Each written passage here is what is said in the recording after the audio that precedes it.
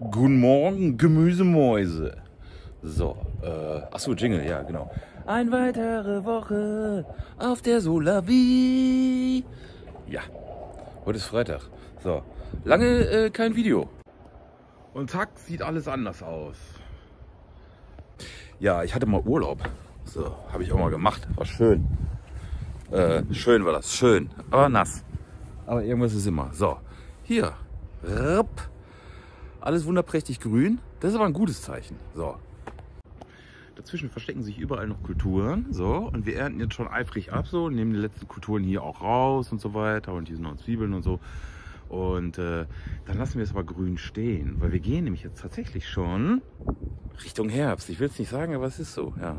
Also bald kommt der erste ER-Monat. Das ist gar nicht mehr so weit hin. Zwei Wochen noch. Ja, dann haben wir schon September.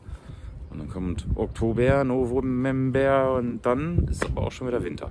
Also das heißt, äh, tja, wir können uns damit anfreunden, dass das Jahr sich neigt. So, das kann man auch an vielen Dingen sehen. Hier zum Beispiel die Gurkenpflanzen. Ja, also war ja jetzt eh eher kühl und äh, auch nass und so. Also das betrifft den Folientunnel jetzt natürlich nicht, aber kühl auch, ja. Und dann sehen die schon so ein bisschen ruppig aus. Ja, jetzt haben wir die ja letzten Mal nicht durchgeputzt. Also der Abdul Wasser hat die einmal alle komplett durchgeputzt so. Hat ganze nekrotische Laub quasi raus. Ja, und jetzt geben wir den nochmal so den, den letzten Drive. Genau. Jetzt gibt es noch einmal so eine, so eine Runde. Lassen wir die Früchte nochmal ausreifen. Und dann geht das aber auch mit den Gurken schon so langsam runter. So, hier die Auberginen, da sieht man vielleicht auch, ach guck mal, da sind überall so kleine gelbe Blätter und so weiter. Auberginen, mediterrane Pflanze, die sagt auch so langsam, ja, hey, ist okay, ist geiler Sommer und so, aber irgendwie Temperaturen nicht und so. Ist aber egal, ist noch ganz viel Frucht da. So, Paprika. Paprika macht sich richtig, richtig geil. Äh, wird heute auch geerntet und da sind so richtig schöne gelbe Klopper dabei. Und noch ganz viele andere Farben und die werden wir heute auch ausnehmen. Super cool. Ja, und bei den Tomaten hier verhält sich das äh, irgendwie ähnlich. Muss ich vielleicht die Linse ein bisschen sauber machen? So. Ah, direkt viel besser. So, hier, also jede Menge Früchte dran. Schön rot auch alles. Aber die sind hier auch ganz schön durchgeputzt worden. So. Das hat natürlich immer auch ein bisschen mit äh, prophylaktisch Krautfäule Vorsorge quasi zu tun. Weil so Temperaturen wie jetzt und vor allen Dingen auch Luftfeuchtigkeit und so, ja, finde die Krautfäule ganz gut, finde ich das. Äh, ja, wir, wir finden das nicht gut, weil die ist ja ziemlich verheerend. Aber äh, so kann man das noch ein bisschen rauszögern. Ich kann mal hier irgendwie zeigen, wie sich das dann verhält hier. Ja, wir wollen ja noch ein bisschen was von den Tomaten haben. Ne? Aber das sieht alles noch sehr, sehr gut aus. Da hängt jede Menge Frucht dran. Die muss jetzt auch noch mal richtig ausreifen. Das wird aber passieren. Mein Gott, hier. Super geil. So. Und hier auch. Ne, sieht auch wieder super spitzenmäßig aus. Man sieht halt, der Apfelwasser hat sich hier wieder sehr viel Mühe gegeben. Ja, ich mache jetzt erstmal Kaffee und dann Ernte. Ach ja, ich habe Äpfel mitgebracht übrigens. Ich heute Morgen noch beim Herrn Papas und äh, habe dann noch mal ordentlich. Das ist aber auch die Linse drin. Viel besser. So, hab da äh, noch mal Äpfel mitgenommen. Gibt heute eine bunte Mischung. Äh, sind drei, vier Sorten.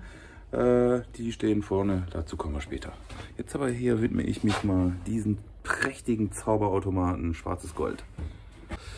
Erntung, Erntung, Erntung. Ja, der Apfelwasser ist da vorne und hat schon den Staudensellerie geerntet und ich mache mich jetzt hier äh, den Porree. Genau, einmal 150 Stück. Äh, genau, und dann machen wir heute noch äh, Tomaten, Paprika, Auberginen, äh, Zucchini, äh, Salbei, Basilikum, Gandana, Schnittlauch. Glaube, das war's. Ich habe bestimmt noch ein, zwei Sachen vergessen. Ja, und Äpfel natürlich. Ja, und jetzt erstmal hier. So, fange jetzt mal an langsam. So, Paprika abgeerntet. Da drinnen ist doch noch recht warm. Und das ist die Ausbeute. Eine richtig schöne bunte Mischung. Hier Chilis und hier jede Menge Paprikas. Die muss ich gleich nochmal durchzählen. Hier gibt es noch ein bisschen was zu erzählen zum Thema Chili. So, ich habe jetzt keine genaue Ahnung, welche Sorte das ist. Es gibt 8000 Sorten Chilis. Wir haben da drinnen noch eine Glocken-Chili, die ist ganz hübsch. Die erkennt man unter Hunderten. Kann ich gleich mal zeigen. Das hier ist das so eine ordinäre, aber die ist relativ scharf. So, würde ich mal so sagen. Äh, wir haben so ein bisschen so eine Chili-Mischung quasi. So, zu einer Chili gibt es jetzt hier Klugscheiß-Modus wieder. Also, Chili ist ganz interessant. Eigentlich ja eine Paprika, mal, das Gift, was hier drin ist, heißt Capsaicin. So, und äh, das sitzt eigentlich innen drin, also gar nicht so in diesem Fleisch hier, sondern so das Gewebe um das Saatkorn herum. Da sitzt das meiste und äh, das ist ein richtig, richtig ordentliches, strammes, naja, nicht Gift, aber auf jeden Fall ein mächtiger Werkstoff.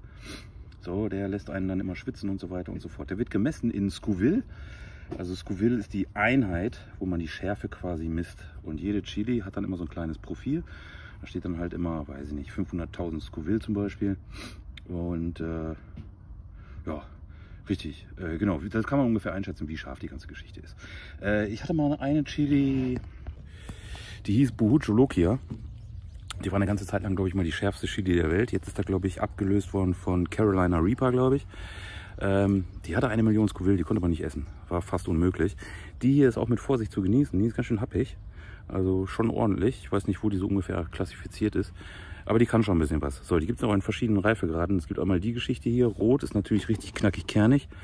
Äh, in grün ist sie noch nicht ganz so scharf. So, äh, wir packen hier immer so ein bisschen so eine kleine Mischung rein damit man sich die Schärfe gerade halt auch irgendwie ein bisschen aussuchen kann, nicht wahr? So, äh, ansonsten kann man die Sache prima, prima trocknen. Einfach so hinhängen äh, und dann ausdörren lassen quasi. Dabei aber aufpassen, dass die äh, wirklich trocken gelagert wird und nicht so ein bisschen halbfeucht oder so, weil die fängt nämlich von innen ganz gerne an zu schimmeln.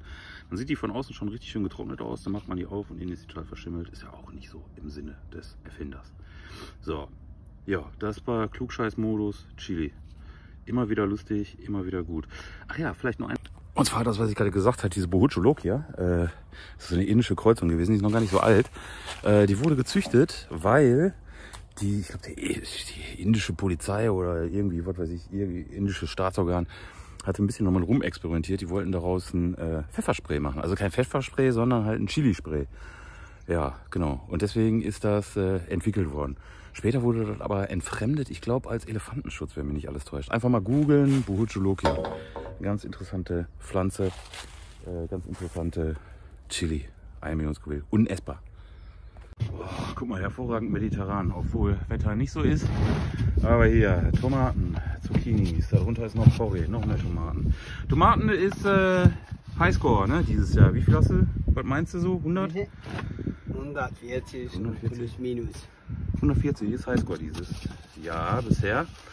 Äh, dann sind wieder Chilis jede Menge dabei, klar, habe ich gerade erzählt. Eine kleine Paprikas, große Paprika, äh, Auberginen hier, die Eierpflanze, Eggplant auch jede Menge.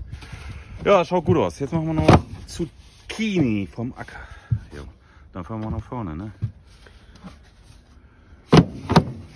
So, das gibt's heute alles hier. Jede Menge Zeugs. Nicht wahr, Abgewasse? So, und dann hier Tomaten und Äpfel und äh, Auberginen und Paprika und Tomaten und Gurken und Auberginen und kleine Paprika und Chilis und Schnittlauch und Gandana und Gurken und Porree und Zucchini und Stangensellerie und noch mehr Zucchini. Und alles super cool. So.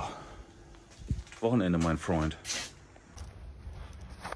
Hallo, ein weiterer Tag auf der Solavi. Linse sauber. Heute ist Samstag und heute ist Arbeitseinsatz. Da sind schon fleißige Helferinnen und Helfer. Ich freue mich schon auf einen Kaffee.